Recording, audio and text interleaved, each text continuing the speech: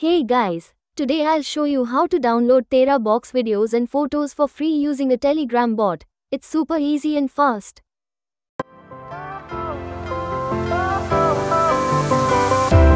Fire went out, lights went down.